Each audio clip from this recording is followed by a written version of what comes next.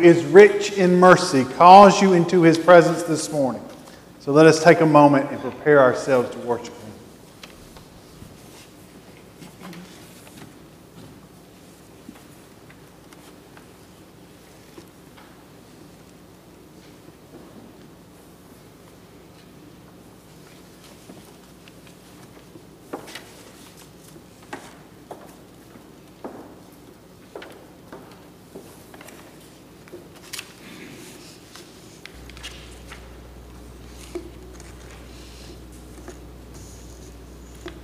Magnify the Lord with me, and let us exalt his name together.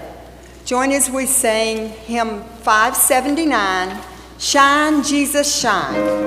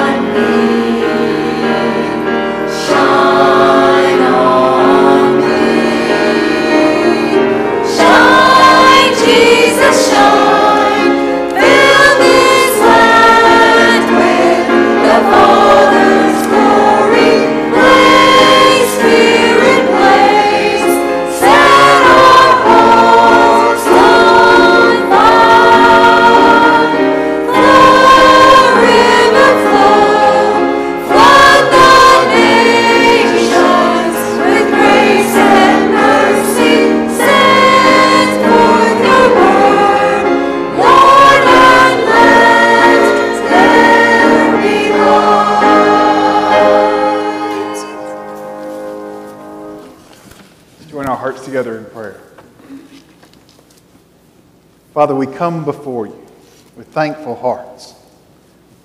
We would come, Father, presenting you with our righteousness and our goodness, but They are but filthy rags. And yet, Father, you have gifted us with grace. You have gifted us with the righteousness of Christ, clothed us in white robes that you have prepared for us. And so we come, Father, in the name of Christ, presenting to you what you have given to us, rejoicing in your good gifts, exalting your name because you have lavished your love upon us.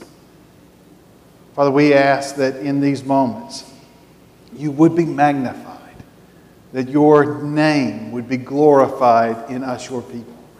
And this is our prayer together in Christ's name. Amen.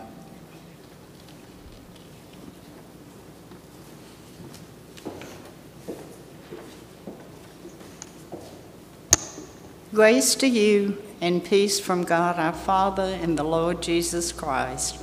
The Lord be with you. And also with you. Let us greet one another.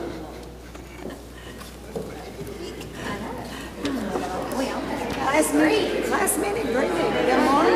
Good morning. Thank you. Greetings to you all. Where are your girls? What's late?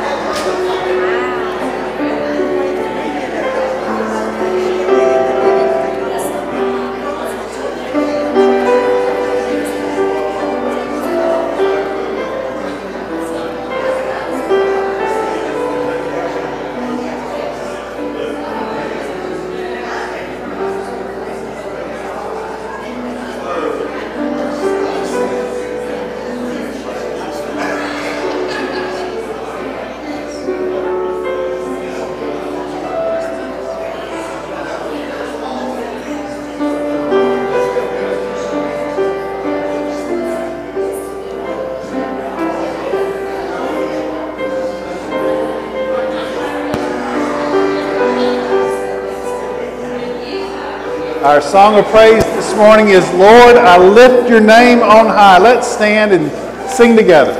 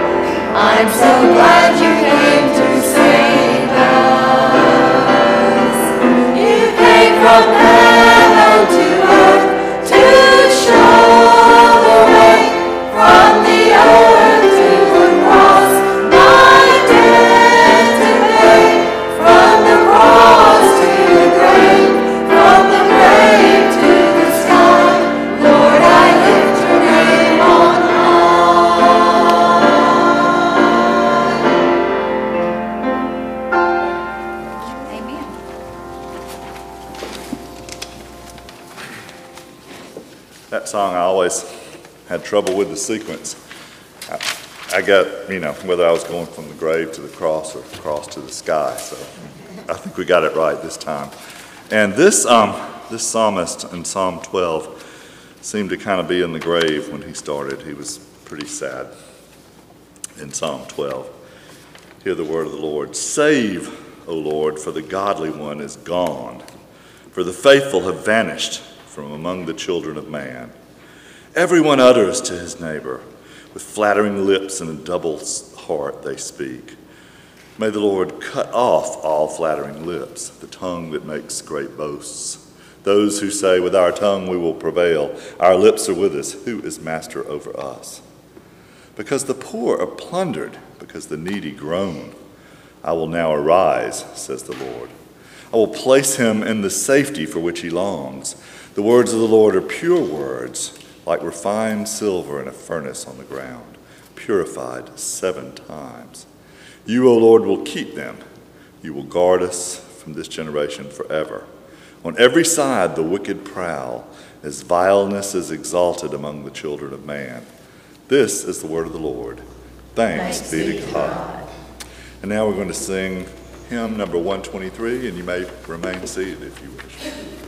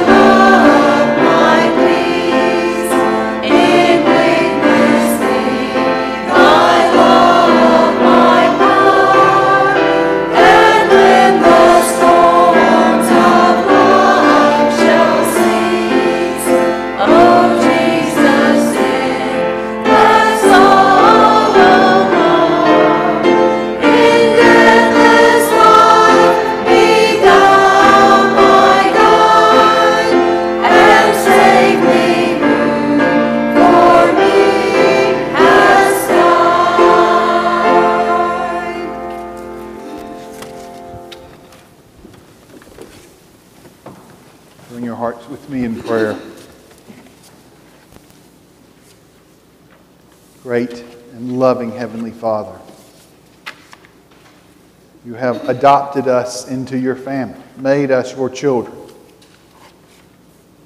And yet we confess that at times we live like orphans. You have prepared a place for us in your house. And yet, Father, we, we choose to build our own mansions, to go our own ways. You have gifted us with wonderful gifts that we might strengthen, edify, and provide for others, glorifying your name. And yet, Father, many times we have taken those gifts and used them merely for ourselves and for our own glory. Father, we ask that you would forgive us. We claim the blood of Christ who died for us that we might be forgiven. We ask, Father, that by your Spirit you would make us your children indeed, that we would live as the members of your household that we are. And this we pray in Christ's name. Amen. Brothers and sisters, hear now the good news. For you know the grace of our Lord Jesus Christ, that though he was rich, yet for your sake he became poor, so that you, by his poverty, might become rich. This is the richness that we have in Christ. Through faith in him, you are forgiven. You are made heirs of God our Father. So now know the will of your Father. By this we know love, that he laid down his life for us, that Christ laid down his life for us, and that we ought to lay down our lives for the brothers. But if anyone has the world's goods and sees his brother in need, yet closes his heart against him, how does God's love abide in him? We're preparing to worship God through giving, and a part of, of our offerings go to help those in need. And so, as we worship God in this way, be mindful that our generosity is a reflection of our Father's generosity. Let's stand and sing hymn number 605 because I have been given much.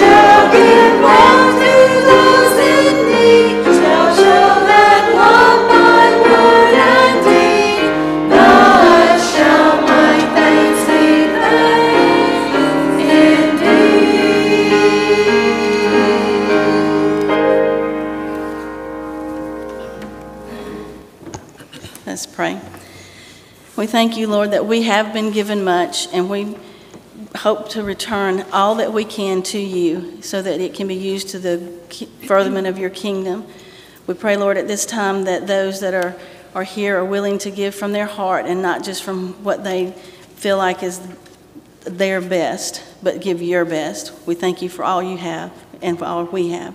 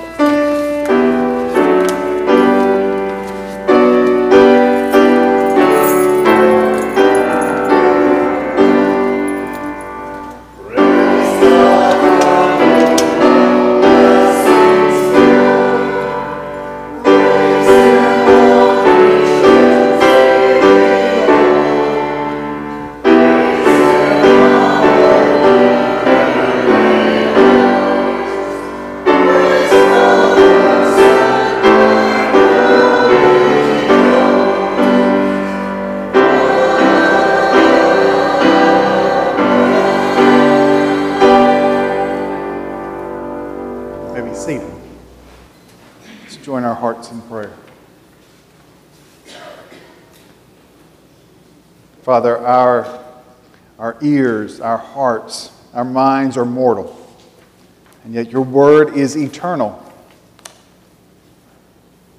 Your word is life to us. And so we ask that you would give us ears to hear. You would quiet the restlessness of our hearts and minds. That you would write your words there. This we pray in Christ's name. Amen.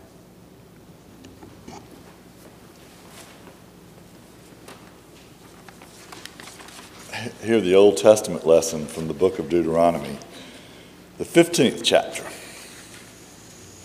If among you one of your brothers should become poor, in any of your towns within your land that the Lord your God is giving you, you shall not harden your heart or shut your hand against your poor brother, but you shall open your hand to him and lend him sufficient for his need, whatever it may be. Take care lest there be an unworthy thought in your heart, and you say, The seventh year, the year of release, is near, and your eye look grudgingly on your poor brother, and you give him nothing and he cry to the Lord against you, and you be guilty of sin. You shall give it to him freely, and your heart shall not be grudging when you give it to him. Because for this the Lord your God will bless you in all your work and in all that you undertake. For there will never cease to be poor in the land. Therefore I command you, you shall open wide your hand to your brother, to the needy, and to the poor in your land. And now the epistle lesson from the second chapter of Paul's letter to the Galatians. Then, after 14 years, I went up again to Jerusalem with Barnabas, taking Titus along with me. I went up because of a revelation and set before them, though privately before those who seemed influential, the gospel that I proclaim among the Gentiles, in order to make sure I was not running or had not run in vain. But even Titus, who was with me, was not forced to be circumcised, though he was Greek. Yet because of false brothers secretly brought in, who slipped in to spy out our freedom that we have in Christ Jesus, so that they may, bring us into slavery, to them we did not yield in submission for even a moment, so that the truth of the gospel might be preserved for you.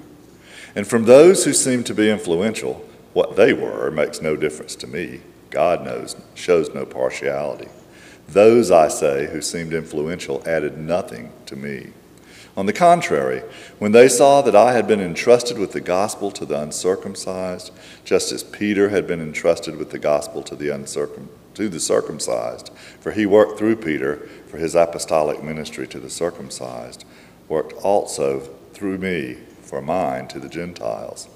And when James and Cephas and John, who seemed to be pillars, perceived the grace that was given to me, they gave the right hand of fellowship to Barnabas and me, that we should go to the Gentiles and they to, to the circumcised.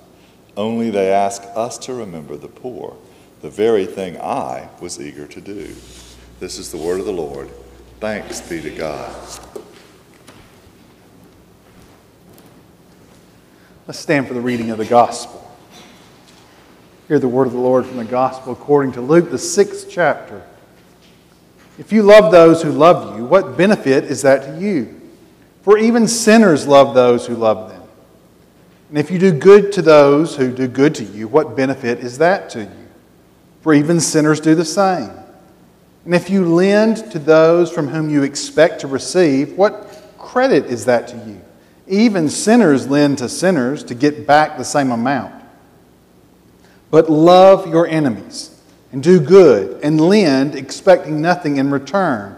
And your reward will be great, and you will be sons of the Most High. For he is kind to the ungrateful and the evil. Be merciful, even as your Father is merciful. This is the word of the Lord. Thanks be to God. You may be seated. Currently, the poverty line for a household of four in the United States is $25,750.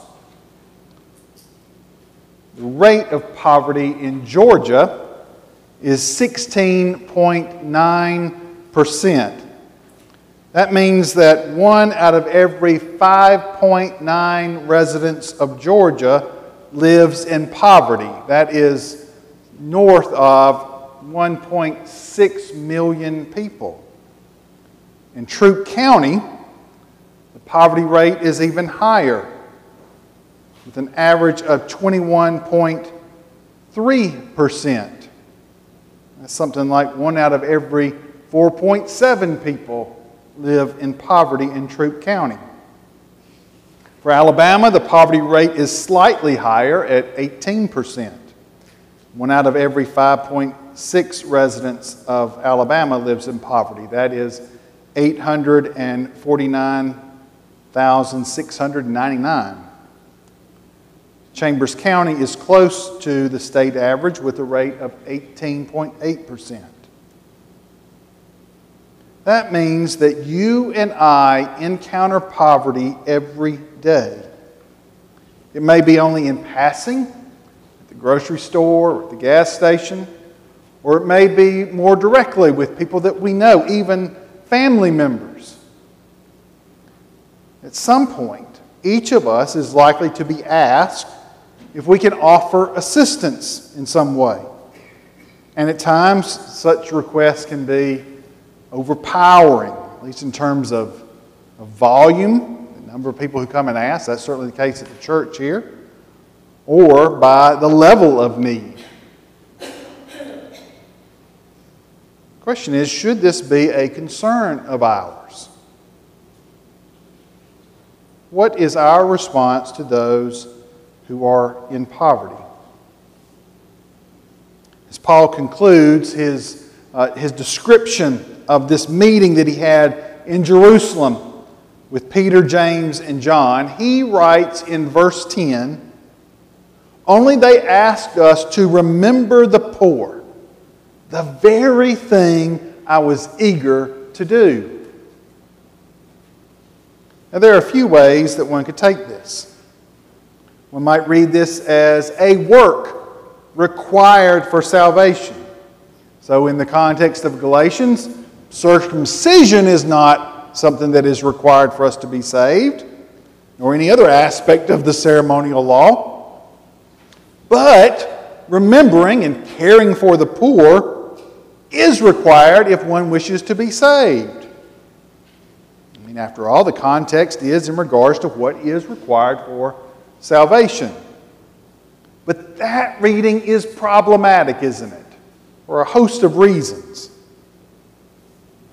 Most namely, because it is adding something to salvation, to the work of salvation which Christ has already accomplished.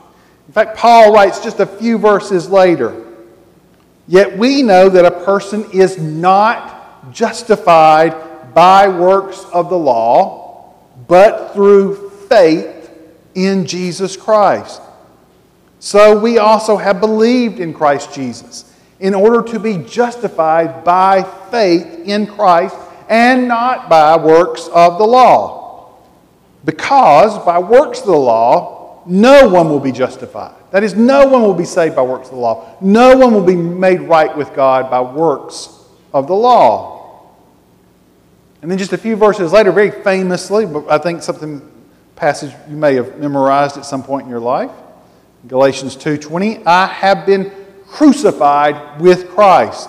It is no longer I who live, but Christ who lives in me. In the life I now live in the flesh, I live by faith in the Son of God, who loved me and gave himself for me. I do not nullify the grace of God. For if righteousness were through the law, then Christ died for no purpose. So, the call to remember the poor cannot be like the false teacher's call to be circumcised. It cannot be seen as a work which justifies us before God, a work which is required for us to be saved. So if that reading is out, well, another reading that we might encounter is that this is just a, a first century concern. That is, we might contextualize, or really, we might over contextualize it. There was great poverty in Judea, and especially within the Jerusalem church. A famine had wreaked havoc in the region. This had a devastating effect on all, but especially on the more vulnerable members of society. We know that the office of deacon, all right, we still have deacons. This office in the church was created for the express purpose of watching after those vulnerable members of the church. A, they were tasked with this ministry of mercy. In particular, First, with widows. They were to make sure that all members of the church got the aid they needed. Paul's words in Romans 15 speak to the particular nature of the poverty in the Jerusalem church when he writes, At present, however, I am going to Jerusalem, bringing aid to the saints. For Macedonia and Achaia have been pleased to make some contribution for the poor among the saints at Jerusalem. For they were pleased to do it, and indeed they owe it to them. For if the Gentiles have come to share in their spiritual blessings, they ought also to be of service to them in material blessings. Our meditation today from 1 Corinthians 16 also speaks of this and the offering which Paul was collecting for these saints in Jerusalem who were in, in dire need. So we, we might simply say that this is the issue the church leaders were speaking of this famine and the need that it had created in Jerusalem, and particularly for the, for the church in Jerusalem. And so it doesn't really speak to us directly. I think this is missing the forest for the trees. Caring for the poor is a constantly repeated theme in the Bible. It does start within the law itself, like our reading from Deuteronomy 15. Verse 7 If among you one of your brothers should become poor in any of your towns within the land the Lord your God is giving you, you shall not harden your heart or shut your hand against your poor brother, but you shall open your hand to them and lend him sufficient for his need, whatever it may be. But just because something is in the law doesn't mean that it's not to be practiced, right? We, we wouldn't want to read this and say, well, you know what, that's the law, so we don't really have to worry about what it says about poor people. What it should do is send us to reading more of Scripture, searching out how this unfolds within the greater context of God's Word. In the Psalms, we are taught that the plight of the poor is of great concern to the Lord, that He comes to their aid, responding to their cries for help. Not only that, but those who faithfully serve the Lord, seek justice for the poor, they defend their cause, they deliver the poor. That is a theme in Psalm 72. And when we come to the New Testament, we find similar calls for all Christians to remember and care for the poor. These are never presented as ways to gain salvation. They're given a very different framework from that. Let's start with Jesus himself in his incarnation. He is, first, an example that really sets the tone for the New Testament's understanding of how we are to care for the poor and why. You see, Jesus leaves the riches of heaven and takes up life with the poor. I mean, literally with the poor. In Luke 2, in, in verse 24, as Mary and Joseph go to the temple for, for the dedication of Jesus, they are to make an offering. They buy an offering that is the offering of the poor pigeons. Not a, not a lamb, not a, not a calf, pigeons. Paul writes of this in 2 Corinthians chapter 8 verse 9. For you know the grace of our Lord Jesus Christ, that though he was rich, yet for your sake he became poor, so that by his poverty you might become rich. In that chapter of 2 Corinthians 8, Paul's point is that we are to emulate Christ. But why? Well, in today's gospel reading from Luke 6, we find this equation, this, this reality that loving and giving back to those who cannot return that to us, that is equated with being God's children, being like our Heavenly Father. When we give to those who really have no means of giving back to us, when we love those who are our enemies, we are in fact acting like our Heavenly Father. In Matthew 25, in that famous parable of the sheep and the goats, and, and the, the question that, that, that those who stand under judgment are asking, both the righteous and, and the unrighteous. You know, Lord, when did we ever see you hungry or, or thirsty or in need? A day of, of reckoning. Jesus teaches us that the fruit of salvation, the marks of justifying faith, what justifying faith looks like, it's feeding the hungry, giving drink to the thirsty, welcoming the stranger, visiting the sick, and clothing the naked. These are the marks of God's children. That's the way God's children behave. When John writes in 1 John chapter 3, verses 16 and 17. By this we know love, that he laid down his life for us, and we ought to lay down our lives for the brothers.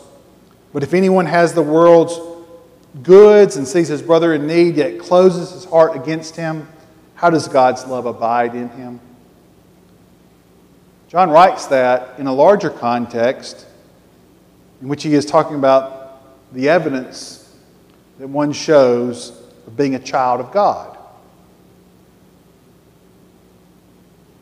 This is the very thing where Paul is going in Galatians when he gets to chapter 3.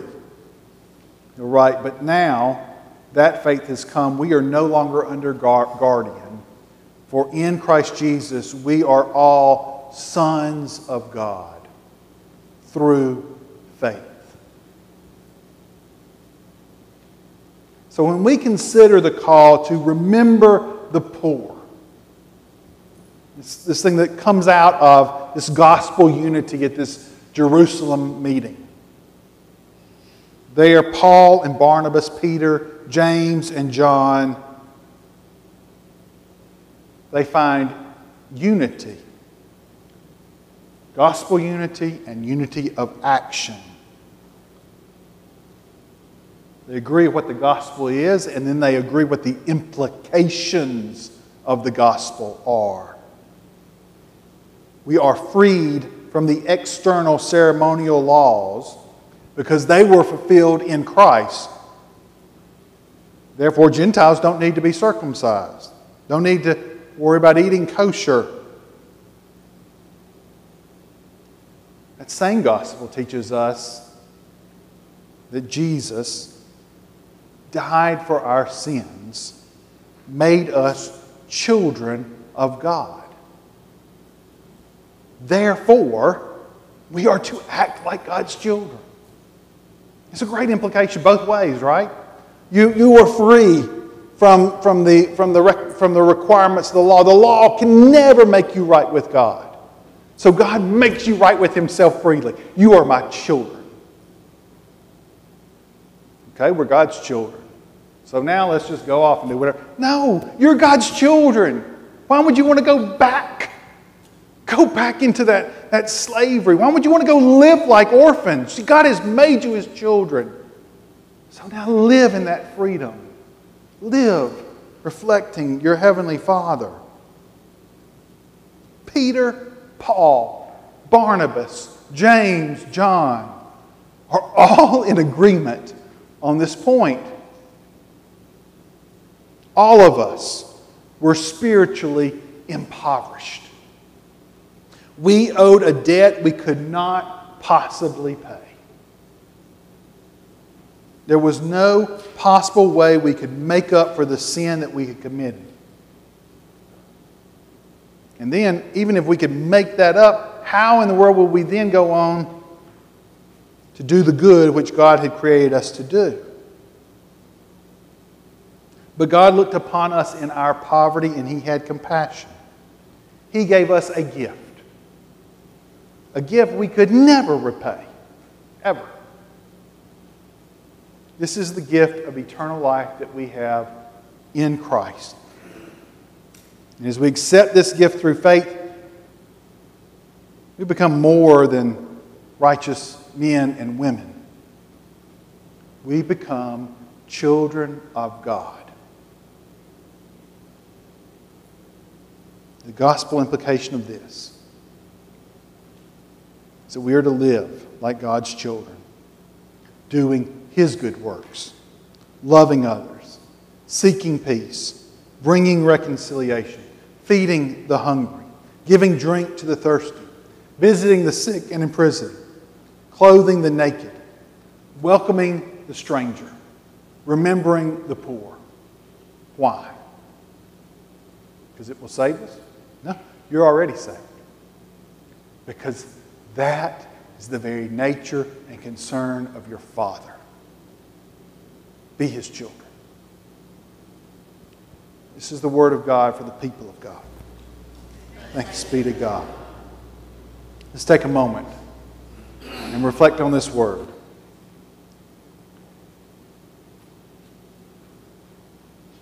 It's easy. You to walk out of here. Forget it. But it is God's word to us live in our lives.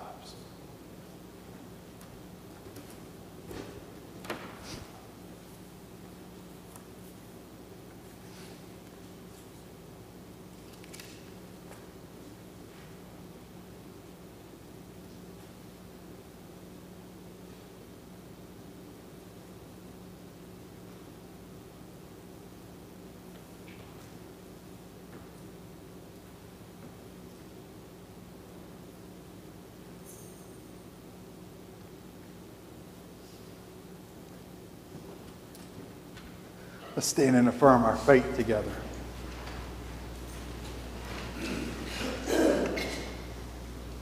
I believe in God the Father Almighty, maker of heaven and earth, and in Jesus Christ, his only Son, our Lord, who was conceived by the Holy Spirit, born of the Virgin Mary, suffered under Pontius Pilate, was crucified, dead, and buried. He descended into hell. The third day he rose again from the dead. He ascended into heaven and sits on the right hand of God the Father Almighty.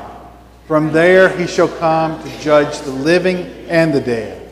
I believe in the Holy Spirit, the holy Catholic Church, the communion of saints, the forgiveness of sins, the resurrection of the body, and the life everlasting. Amen. As we continue to respond, we're going to sing hymn number one, I'm sorry, hymn number 611, Let Your Heart Be Broken.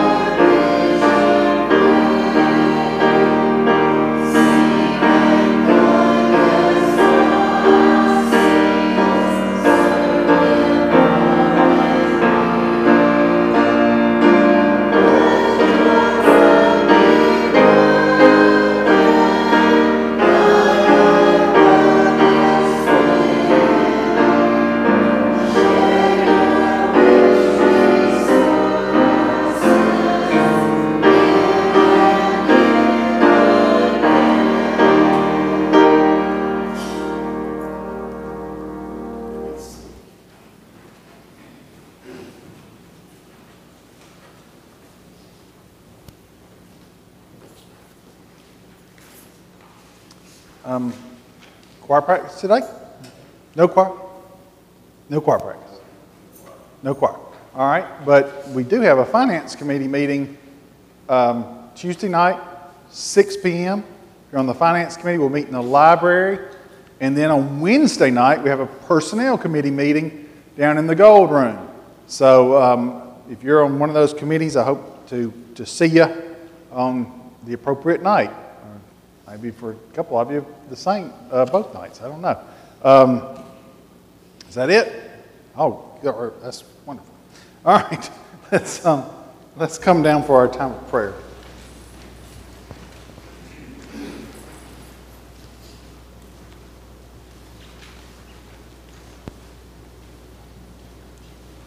I do. Um, certainly on our national stage, we um, have been two, two shootings in the past 24 hours, one in Texas and one in Ohio. We certainly want to um, pray for those who, who have lost and who have been wounded, and pray for our, our culture and our nation where we are at this point. Um, are there any, other prayer requests that you'd like to share at this time? Abigail McLean is having eye surgery tomorrow in Atlanta. Yes.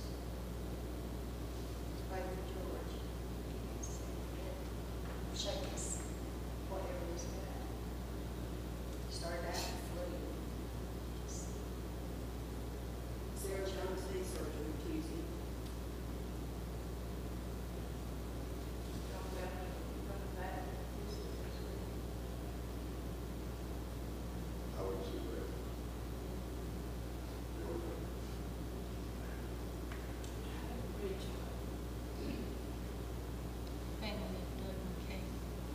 Doug McKay.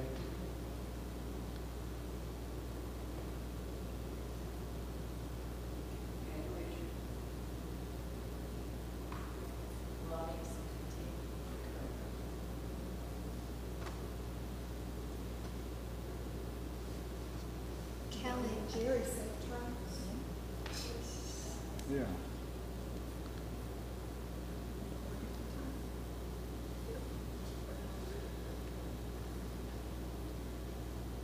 Um, a new teacher who's, well, she's taught before, new to Franklin Forest, going to be in fourth grade with me.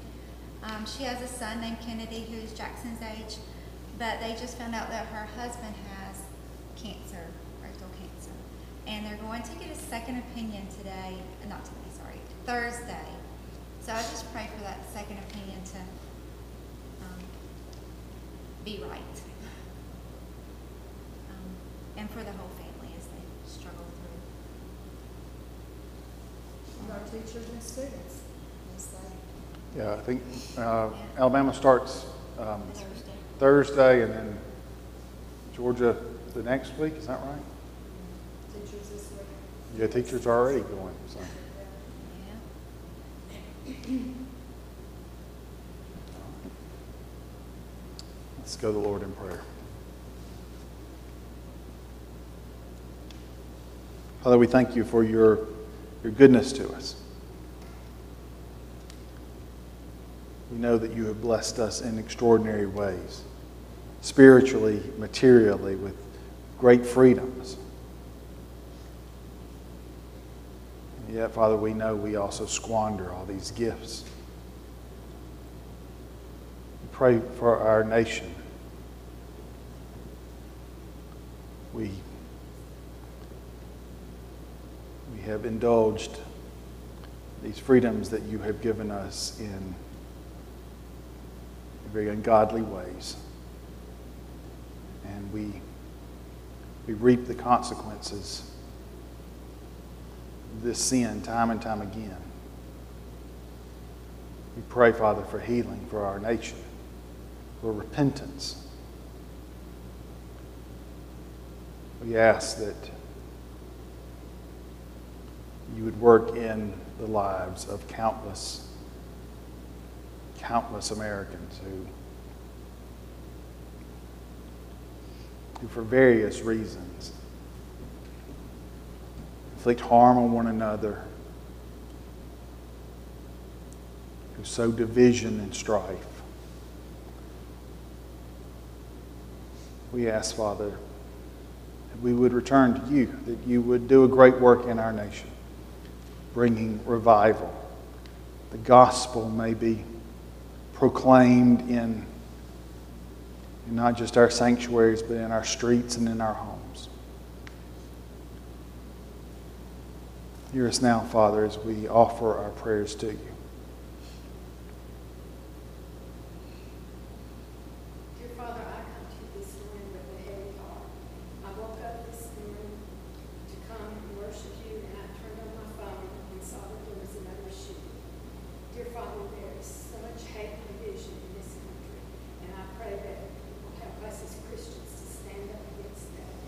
Dear Father, be with everyone to bring some sort of healing to this. Heavenly Father, I pray that you would help us this week, wherever we are, to be your hands and your feet and your voice of kindness and show your love.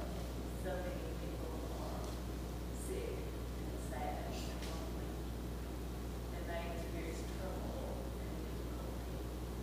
And I pray for us, for all Christians, that we can be some of their answer for love and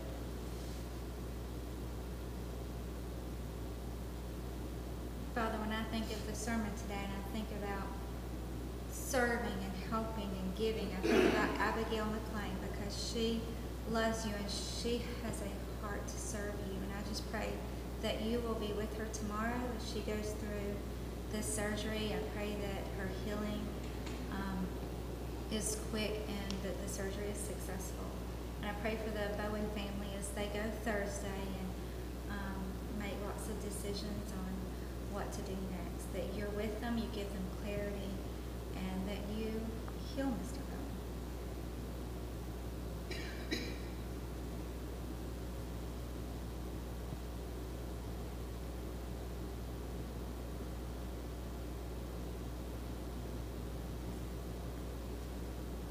Father, hear us now as we pray the words that our Lord has taught us to pray. Our Father, who art in heaven, hallowed be thy name. Thy kingdom come, thy will be done, on earth as it is in heaven. Give us this day our daily bread, and forgive us our debts, as we forgive our debtors. And lead us not into temptation, but deliver us from evil. For thine is the kingdom, and the power, and the glory forever. Amen. Remember this word, brothers and sisters. As for the rich in this present age, charge them not to be haughty, nor to set their hopes on the uncertainty of riches, but on God, who richly provides us with everything to enjoy. They are to do good, to be rich in good works, to be generous and ready to share, thus storing up treasure for themselves as a good foundation for the future, so that they may take hold of that which is truly life. And now, the grace of the Lord Jesus Christ and the love of God and the fellowship of the Holy Spirit be with you all. Amen. Go in peace.